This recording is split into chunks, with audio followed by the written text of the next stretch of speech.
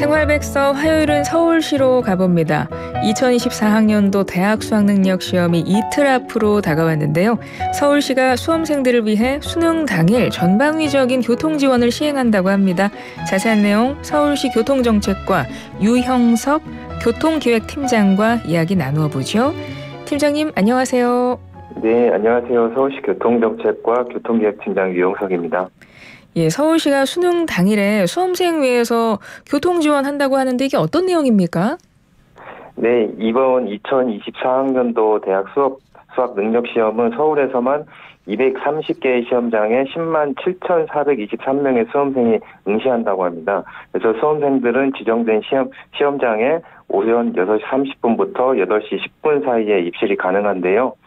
서울시에서는 시험 당일 수험생들이 시험장으로 무사히 도착할 수 있도록 우선 서울 지하철은 오전 집중 배차 시간을 연장해서 연장 시간대인 6시부터 10시까지 총 30, 31회 추가 운행을 하고요. 이날은 승객 증가, 열차 고장 등 만일의 사태에 대비해서 예비 차량도 총 16편 대기시켜 놓을 예정입니다.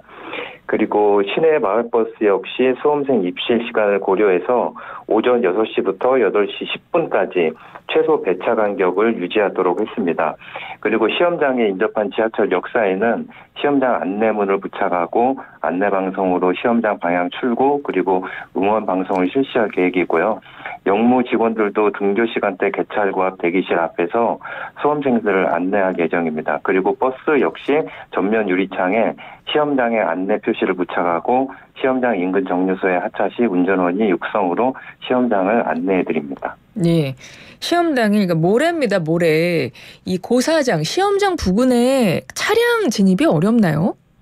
네, 그렇습니다. 그 날씨도 춥고 해서 개인 차량으로 이제 수험장에 가시는 수험생이나 학부모 분들이 있으실 텐데요. 예. 그 시험 당일에는 수험생들의 안전과 또 원활한 시험 진행을 위해서 수험장 입구부터 반경 200m 구간에는 대중교통의 차량을 그 진입과 출입을 통제하고 주차를 금, 금지할 계획입니다. 어, 그러면 예, 대중교통을 이용해야 되겠네요.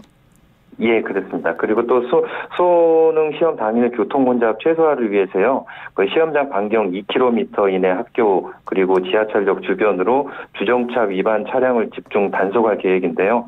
시험 당일에는 개인 차량보다도 그 대중교통을 이용하시는 게 좋을 것 같습니다. 네.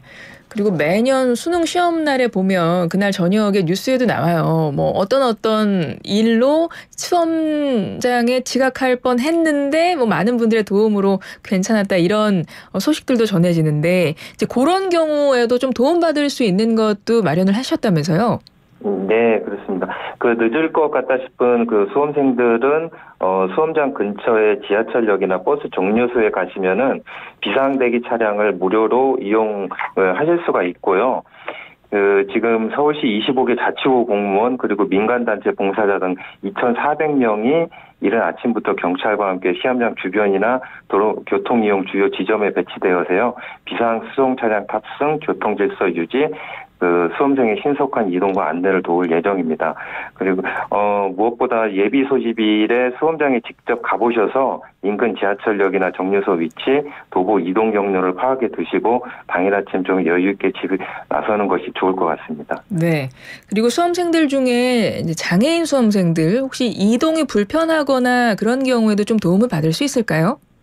예, 그렇습니다. 이날 하루 서울 시내 장애인 콜택시를요, 몸이 불편한 수험생에게 우선적으로 배차하기로 했습니다. 그래서 이용 대상은 기존 장애인 콜택시 이용 가입이 되어 있는 장애인 수험생이고요. 수능날 그 장애인 콜택시 이용을 원하시는 가정에서는 1588에 4388 또는 어, 02-2024에 4200번으로 전화를 하셔가지고 예약을 하시면 됩니다.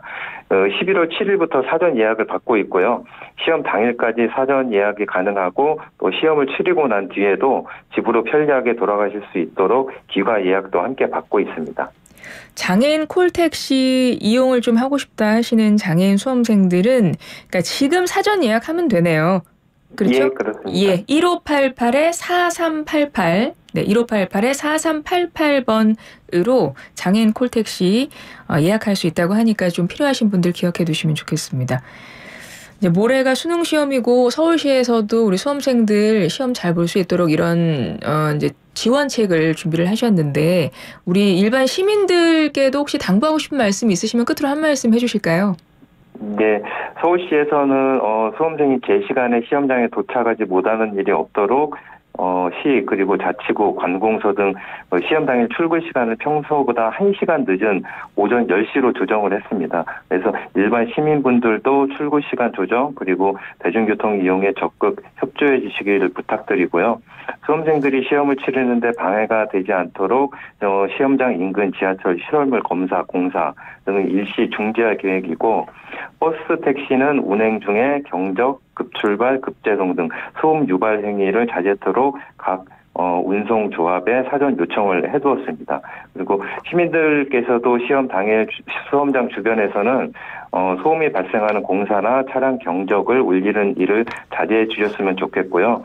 그리고 마지막으로 그 오랜 기간 열심히 준비해온 만큼 수험생 여러분들 긴장하지 마시고 실력 발휘하시기를 바라고 어, 서울시에서도 이날 모든 수험생분들이 편리하고 안전하게 수험장에 도착할 수 있도록 지원을 아끼지 않도록 하겠습니다.